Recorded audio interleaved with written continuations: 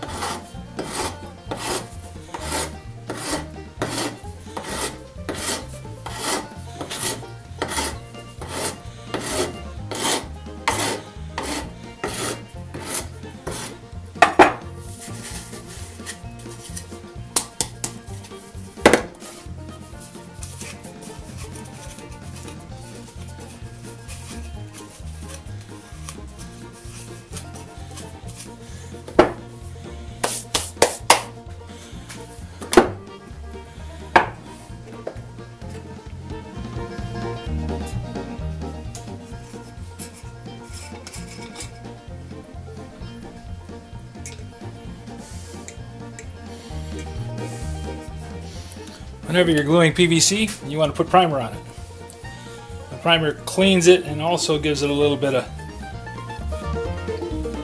tooth for the glue to catch a hold of. Kind of presets the glue. This bottle of purple primer is just about gone. I think we're not going to use that on the next part. I'll grab up this new one.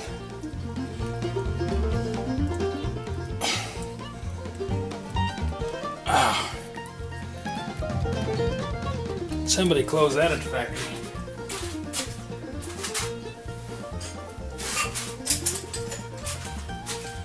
But uh, we have tools for the, such things.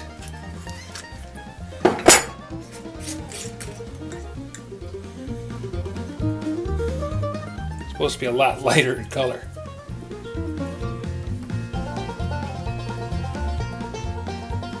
I think the other stuff had boiled down to the point where about all that was left was the purple and not much of the primer. My son asked me once why that we had to put this purple stuff on the pipe every time. It always showed and it looked ugly. And I said, so the inspector, when he comes to look at your plumbing, can say, yes, they did use primer.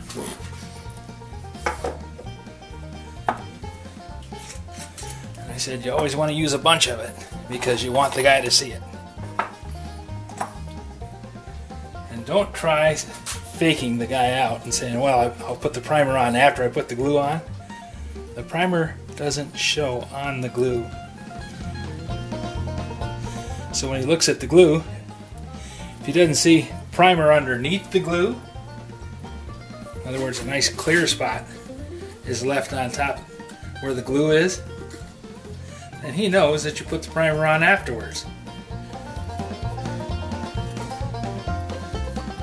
Besides which, it's an easy thing to do. It doesn't take any time at all. And it makes the, the glue work so much better.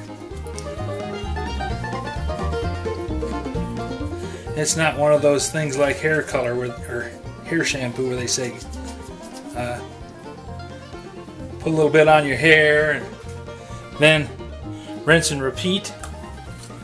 That was the single best marketing plan in the world because it doubled the sales of soap, of shampoo, almost immediately. This is a case where it actually does some good.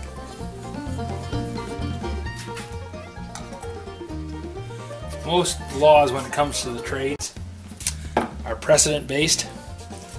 Somebody looked at it and tried it. And either it worked and they said, let's do this again, or it didn't and they said, well, this won't ever work.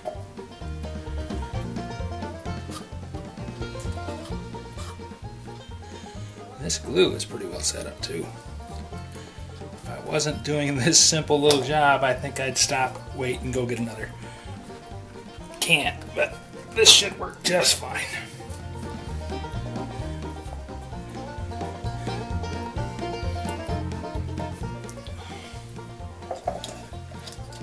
Good enough for what it's for.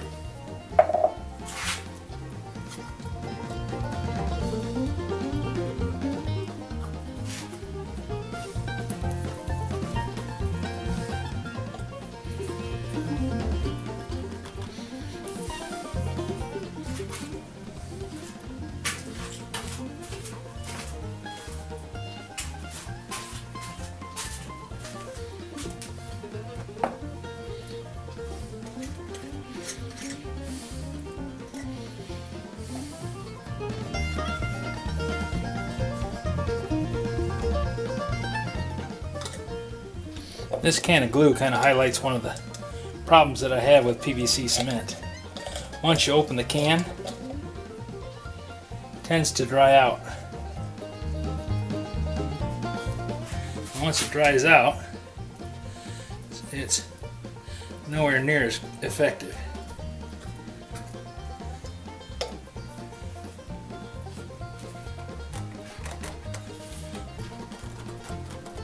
You always want to put it on and twist it a bit.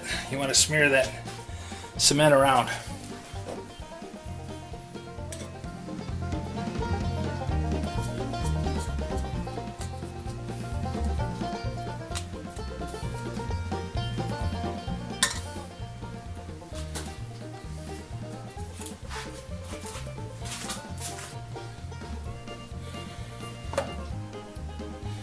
Okay, went got a different kind of PVC cement.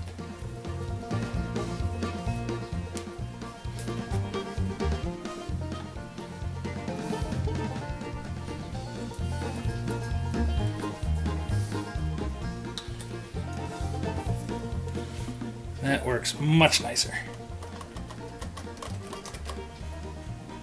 You got to push it on and then hold it for a second.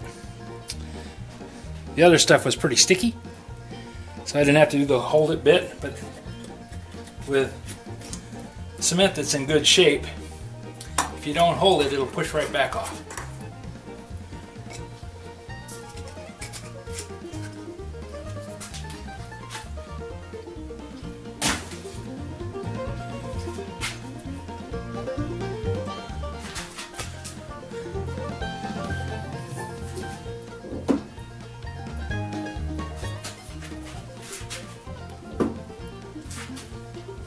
Now I have to let the apparatus set and dry.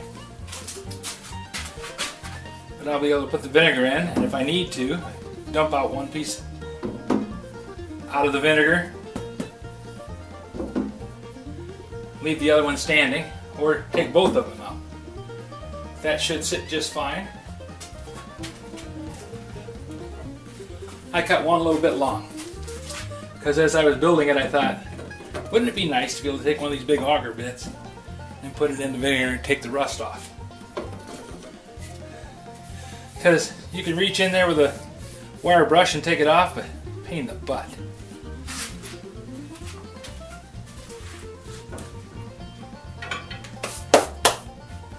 So, now I leave everything to dry. Let's see, we've fixed uh, an auger bit. We've cut some PVC pipe we glued it together. Made a base. Whole lot of work. And it's all because I wanted to take the rust off of a file. It wouldn't fit the bin that I had. But from now on, whenever I want to do a file, or de-rust one of these giant auger bits, I've got the tools. So future jobs will take less time. And I ended up with a nice sharp adjustable auger bit. Never hurts to do tools within tools within tools. Hi, I'm Old Sneelock. You've been watching me make a new fixture for the workshop. It's a way to take the rust off of parts uh, I usually use electrolysis in the summertime, but in the wintertime it's kind of nice to be able to put the vinegar back down here in the basement. I don't want to do electrolysis because of the hydrogen released. Vinegar doesn't seem to cause any problems and it doesn't smell bad as long as you use apple cider vinegar. So this is kind of a throw together piece to see how it works. Uh, I think it's going to be just fine. I'll probably trim it up and clean up the base a bit. Might even throw a little varnish on it, who knows. But it's going to do exactly what I want it to do, which is the whole idea of the thing. Jigs don't have to be fancy, they just have to work. Thanks a lot for watching. Old Sneelock here again. Thanks for watching. Have you subscribed yet? If you enjoyed the video, please take a moment and click the thumbs up.